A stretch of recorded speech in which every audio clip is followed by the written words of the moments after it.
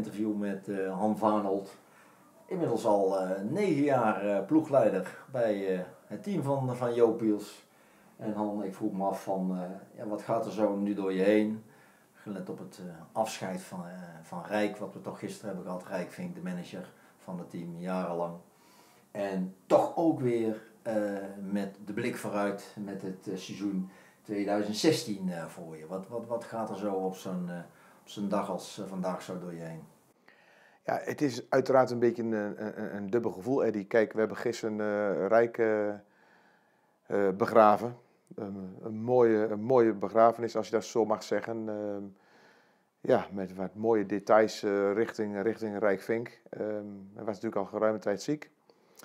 En dan heb je vandaag weer een trainingskamp achteraan. Dit stond gepland. Ehm, we hebben ook gezegd op een gegeven moment van, nou we laten de trainingskampen niet doorgaan. Maar Rijk en Ria wil zelf beslist dat het uh, trainingskamp door zou gaan. En nou, we hebben vanmorgen een toertocht gereden, rijden morgen weer een veldtoertocht.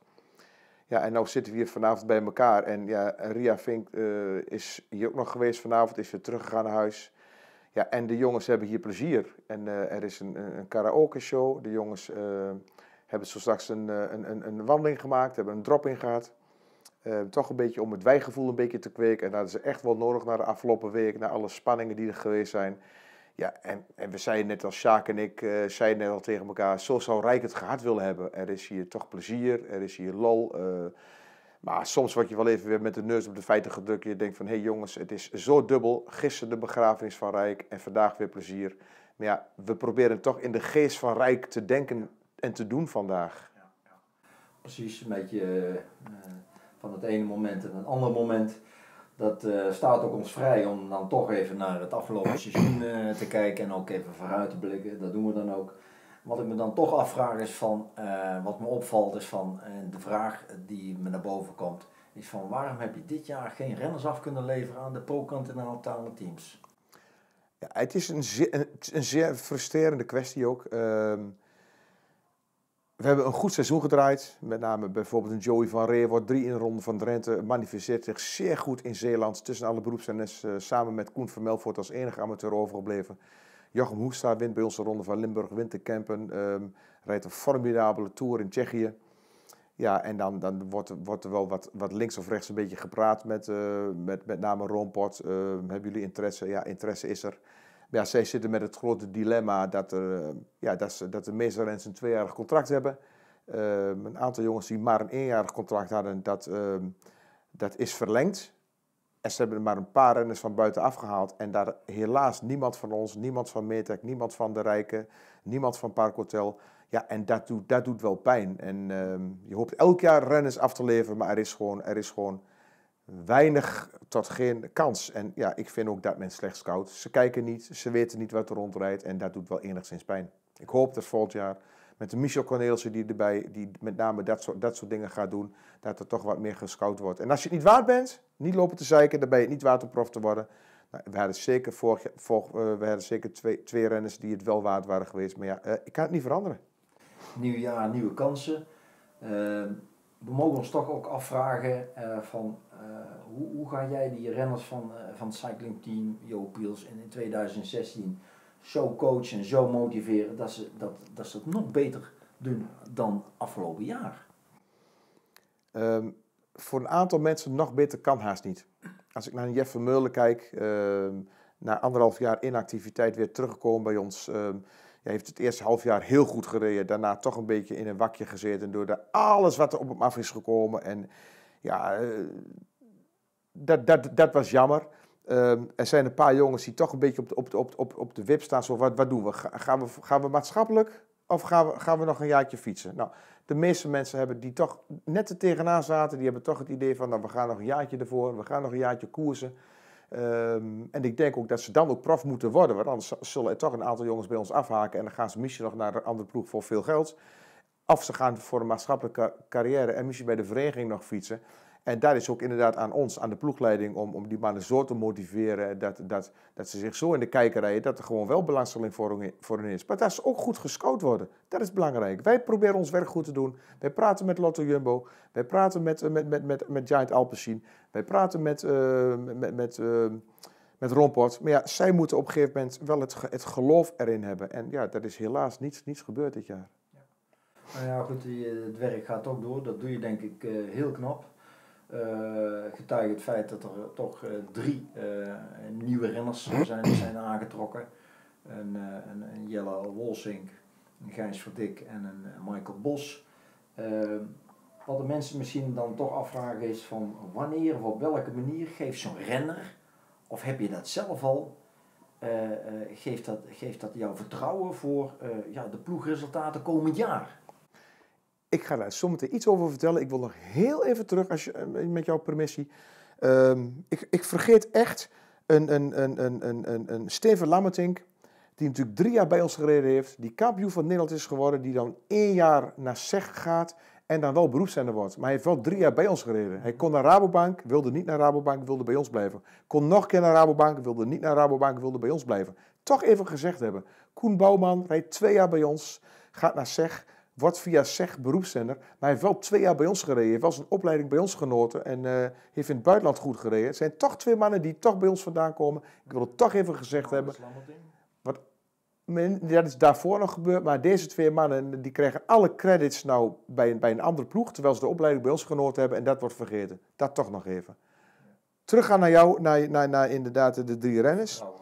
Ja, nou, een, eh, een, een, Michael Bosch die is, ons, die is ons echt opgevallen, bijvoorbeeld in een Kruisbreis in Frankrijk, waar hij met de beste omhoog reed. Reed voor de club, de jonge renner. Uh, kan zich wat meer uiten door wat meer initiatief te tonen, maar hij rijdt gewoon goed bergop. Dat hebben we gezien. Dat heeft hij getoond.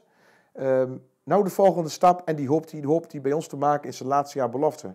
Gijs Verdik komt bij ons uit de buurt, bij Laren, Gelderland. Heb ik een paar keer zien rijden, een paar keer zien koersen. Een fanatiek, fanatiek ventje, dat staat me wel aan. Ook laatste jaar. En ja, daar hoop Soms moet je een beetje ook het gevoel, het gevoel wat je bij een renner hebt van hé, hey, dit wordt wat. Uh, Jelle Wolsink heeft twee jaar bij Metec gereden. Uh, heeft zijn opleiding daar genoten. Heeft mooie koersen mogen rijden bij Metec. Uh, maar nou, nou de volgende stap uh, naar ons toe, naar Piels. Hij kwam vrij, wij wilden hem graag hebben. Als je goed rijdt in de PWZ-tour, waar je dacht ik 4 of 5 wordt, uh, meer dan 200 kilometer, en een week later ook nog weer heel goed rijdt in de, in, in de ronde van Overijssel, ook weer meer dan 200 kilometer, dan kun je wel fietsen. Dan heb je wel wat in je. Die jongen heeft mentaal een beetje in, zijn, een wak gezeten. Maar daar gaan we gewoon wat van maken. Daar, uh, ik zie dat helemaal zitten met die drie mannen. En, uh, welke top 5 competenties verwacht jij bij, zo'n jongens? Waar, let jij op? Want als je het over scout hebt, dan ja, jij doet twee dingen tegelijk, scout en coach tegelijk. Maar met name in dat scout gedeelte, waar let jij uh, op als je, als je het over een top 5 kan spreken? Een aantal dingen is, uh, wij proberen altijd te, te, praten met, met, met, met degene waar ze vandaan komen. Dus dat is bij de jonge renner bijvoorbeeld met Cecile van Dongen waar je mee praat, daar komt ze jongen vandaan.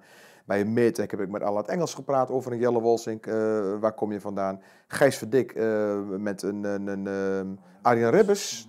Waar kom je vandaan? Die moet mij informatie geven over hoe die jongen is. Dat weet ik niet. Dat kunnen zij mij vertellen.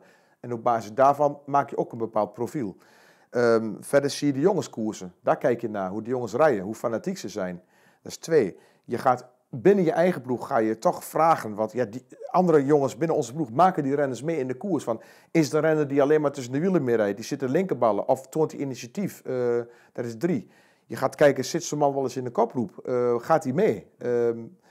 Uh, als ze een trainer hebben, een paar hebben een trainer, ga je met zo'n trainer eens een keer overleggen van wat, wat kan zo'n jongen?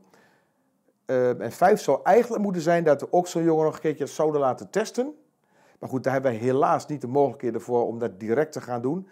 En dan is een test nog niet eens alles, uh, alles, alles uh, om, omzeggend. Dus ja, dit zijn eigenlijk de, de vier dingen waar wij dan proberen naar, uh, naar te kijken. Ja, ja. Um, als je dan toch terugkijkt naar dat seizoen 2015, wat, wat zie je daar als mooiste resultaten van toch samengevat? En wat verwacht jij in het kort van, van een seizoen 2016? Nou, we hebben natuurlijk in 2014 Olympisch Tour gewonnen. Nou, de lat lag hoog. Um, ze denken dan zomaar even weer dat we dat even weer gaan doen. Nou, dat, valt, dat valt niet mee. Als we toch in de Olympisch Tour weer komen met de ploeg en we winnen weer de ploegentijdrit, net zoals het jaar daarvoor. Uh, we hebben een paar dagen de gele trui. Uh, we winnen toch een etappe met Jeff Vermeulen in België. Um, dan, heb je, dan heb je het gewoon goed gedaan. Er wordt altijd gezegd, als je in de Olympisch Tour een etappe wint, heb je het goed gedaan. Nou, we hebben de twee gewonnen, hebben het, echt, hebben het gewoon echt goed gedaan. Zeker gezien het jaar ervoor waarin we subliem hebben gereden. Nou, een PWZ-tour wordt gewonnen, Overijssel wordt gewonnen. Ehm, twee in de topcompetitie, drie in de topcompetitie, vier in de top, topcompetitie, vijf in de topcompetitie. Net niet nummer één. We worden, winnen wel met overmacht het ploegklassement. Uh, we winnen het uh, jongerenklassement met Twan Brusselman.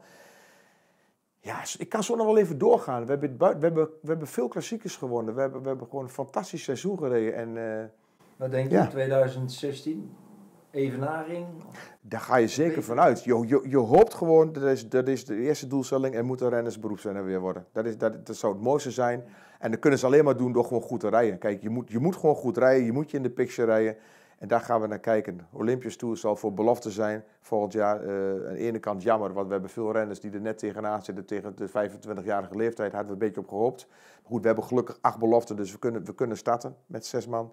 Ja, en internationaal zullen sommige renners zich in de kijker moeten rijden. En, uh, en dan met name in de toch uh, Michel Heuvelberg oprijden. En ja, en dat, dat is een beetje onze doelstelling. En toch een beetje doorgaan op dezelfde manier. We zijn een klassieke ploeg, we hebben veel klassiekers. Als je in de Ster van Zwolle gaat staan, dan moet je daar gaan staan om te winnen. Als moet je niet willen rijden, moet je helemaal niet komen. Moet je lekker thuis blijven zitten, moet je een, een trainingskoers gaan rijden. Je gaat met de ploeg naar de Ster van Zwolle om die ster te winnen. Zo gaat het. Ja. Ster van Zwolle.